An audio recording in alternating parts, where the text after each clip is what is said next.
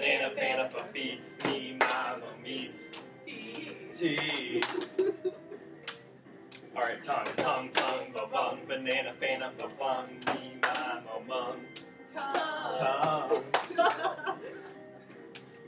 Feelum, feelum, ba feelum, banana, fana, ba feelum, me, mama, mealum, mealum. The articulatory resonating system extends from the opening of the mouth to the vocal folds and comprises the oral cavity, the nasal cavity, and the pharyngeal cavity, when shown in figure 3.6. Together, these three cavities form the vocal tract, respiratory, and laryngeal systems into all of the English speech sounds. Structures important. Speech production, such as the teeth, tongue, and velum, are housed within these three cavities. Adults have a total of 32 teeth that are held within the alveolar process of the mandible and maxilla inside the oral cavity. The obvious biological function of teeth is chewing food, but the teeth are also important for production of some English sounding sounds.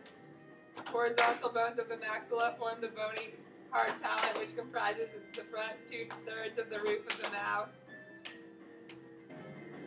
Tongue, the principal structure within the oral cavity important for speech production is the tongue.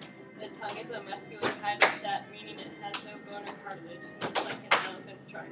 It provides its own structural support through contraction of its muscles, but also has a self-skeleton of connective tissue that surrounds and separates its different components. The velum or the soft palate located in the pharynx is an important structure for both speech and swallowing. You can see the portion of your velum by looking into the well-illuminated bathroom mirror. You will see a structure projecting downward called the uvula. The uvula is termination of your velum. When you breathe your nose, feeling things like a curtain from across your aspect through the bony hard palate. During swallowing speech from projection of violent allocates the nasal cavity from the pharyngeal cavity from the nasal pharyngeal enclosure and closure by the middle. Separate cavities falling to the sputum and the food passaging through the nasal cavity.